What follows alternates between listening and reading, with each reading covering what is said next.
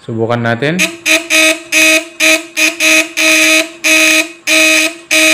Yun. Tuloy po kayo dito sa Jamyag TV. Home of Barnes Tutorial. Jamyag TV. Home of At ang video natin ngayon mga kabutingting ay ito about sa fish stunner. Dahil marami pa rin nagtatanong about fish stunner, kung ano daw yung maganda, ano yung magandang kombinasyon, paano papalakasin ang isang fish stunner. So yun yung pag-uusapan natin ngayon mga kabutingting at himay-himayin natin. Pero bago niyan mga kabutingting, ako nga pala si Jamyag, nag-upload ng samot-saring video tutorials na may kinalamang pang technical, mga DIY na po pwede nating magamit sa ating pang-araw-araw na pamumuhay. Ayan, isang mabilisang shoutout lang. Shoutout sa mga kaibigan natin, mga nagpapa-shoutout. Shoutout kay Neltronics. Ayan, shoutout sa iyo. At saka kay Christian Nicolas ng ah, Santo Niño, Fire Cagayan. Maging si Daniel Pelarca. So, shoutout sa inyo. Paano mga kabutingting? Hindi na natin papatagalin. Tayo na at magbutingting. Ito yung alambre. So, ang haba nito mga kabutingting, at least nasa 6 inches to 12 inches. Depende sa choice mo yan. Okay? Pero kadalasan mga kabutingting, ginagamit nila itong 6 inches. Yung haba ng core. Ito. Ito ay gawa sa alambre, spokes, bakal na solid po pwede. At ang bilog nito o yung diameter nasa 25 mm to 30 mm. Ito naman yung primary. Ipupulupot mo lang dito sa alambre. Yung Kadalasang ginagamit sa primary, size ng wire, number 14. AWG o American Wire Gauge. Ito ay nasa 4 to 5 layer. Ano naman ang epekto mga kabutingting kung sumobra ka? Pag masyadong madami yung ipinupulupot mo dito, hindi na siya naaakma sa 12 volts, yung magnet nito mahina. Okay? So ano lang dapat? At least nandito ka. Hindi ka nalalayo sa apat hanggang limang ah, layer o nasa 1 half kilo yan mga kabutingting na number 14. Ito naman yung secondary. Kadalasang ginagamit dito sa secondary number 16 up to number 21. Depende na naman sa choice mo yan. Pupwedeng solo 16, pupwedeng solo 21. Pupwede ring dugtong. Itong number 16 at saka number 21, 19, depende. Choice mo yan. Okay? Papaano gumagana ang fish stunner? Papaano nakapag-produce ang fish stunner o itong transformer natin ng kuryente? Pag pumasok dito mga kabutingting, yung 12 volts na DC, DC na 12 volts, magkakaroon nito ng magnet. Okay. Magkakaroon ito ng magnet.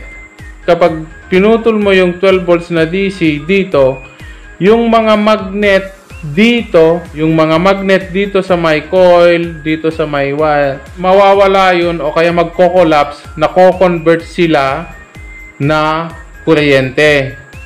At yung mga magnet na yun na na na nagko-collapse o yung mga magnet na yun na, ma- na mawawala, mai-induce sila dito sa secondary windings. Okay? Kaya meron tayong contact point dito sa yung nag-on off. Kaya, halimbawa, pumasok dito yung DC, nagkakaroon ito ng magnet. Pag pinutol mo, walang pumasok na DC, mamamatay yung mga magnet dito. Yung mga magnet ay mai-induce at mag mako-convert into current. Mai-induce sila dito. ang teorya ng fish stunner dito sa secondary natin, mas madaming ikot. Anong mangyayari pag mas madaming ikot? Mas mataas ang voltahe pag mas madaming ikot. Pag mas makapal ang wire, ano naman ang mangyayari kung mas makapal ang wire? Tataas din yung current or ampere or wattage. Okay? So, ito na mga kabuting-ting. Ang teorya ng transformer, mas madaming ikot, mas mataas yung voltahe, mas makapal na wire, mas mataas yung wattage. Okay. Sa suma total, mga kabuting-ting, ang lakas ng fish stunner nagdidepende sa size of wire. Mas makapal ang wire, mas mataas yung current mo o ampere or wattage. Pag mas mataas yung wattage, siyempre, matakaw din sa baterya. Pero malakas siya. Pag gumamit ka ng pino, bababa yung current mo or yung wattage. So, paano ang gagawin? Kung gusto mo ng fish stunner na malakas, ang basic theory, kung pag gumamit ka ng makapal na magnetic wire, mataas ang iyong current or wattage. Pag nagdagdag ka ng marami, pag nagpulupot ka ng marami dito sa secondary mo, tataas din ang voltahe mo. Ganon din sa primary mga mga kabutingting, pag gumamit ka ng manipis na wire dito, mababa din yung wattage mo.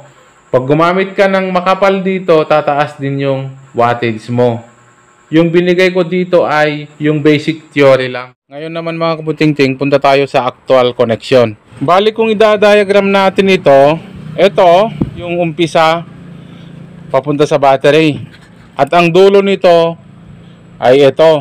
So bali magiging ganito mga, mga kabutingting. Yan. Tapos yung dulo, ito. Ito oh. Ito siya yung dulo. Yung dulo nito, magkadugtong dito sa umpisa ng secondary. Meron tayong yun. Ito, dugtong yan. Ito yan oh. Ito. Ito yung dulo ng number 14, magkonekta dito, magka-connected dito sa unang secondary. Dito sa secondary natin. Ito. At yung dulo ng secondary natin, ito na siya. Ito. Ito. Ito na yon pupunta na dito sa rad. Asan yung contact point natin? Ito. Ito yon papuntang contact point. So ilalagay natin. So ito. Ito na yon Ito na siya. So papunta ito ng contact point. So dugtong yan. Ayan na siya. Ito. Ito na yon na connection. Tapos ito. Ito na rin na connection papunta ng battery. Ito. oh. Ito, ito siya. Pupunta siya ng contact point. Baterya din ito. Ito yung isang battery. Okay. So, itong contact point na to, bali ito. Ito siya. Itong contact point na to, papuntang baterya, ito na siya. Okay? Saan naman nakakabit yung capacitor o condenser? Nandi dito, nakakabit dito. Nakakabit dito. Yun oh. Yung isang paa ng capacitor naman, pumunta dito sa isang contact point. So dito. Ayan. So ganyan lang yung connection natin mga kabutingting. Ngayon, saan mo naman nilalagay yung switch? Dito ka na maglagay ng switch. Ito na yung battery mo. Hmm. Ngayon, saan naman yung isang rad? Yung isang rad natin, dito. Dito na. Yun na yun oh. Magkakonekta. Dito. Bali, ito na yung isang rad natin. So, ito, ganito yung diagram nito. Yan. So, testing natin. Yun oh. Yun. Subukan natin dito sa ilaw. Yun oh.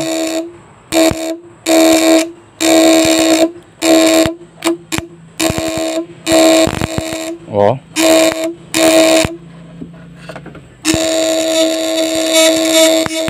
Yun oh.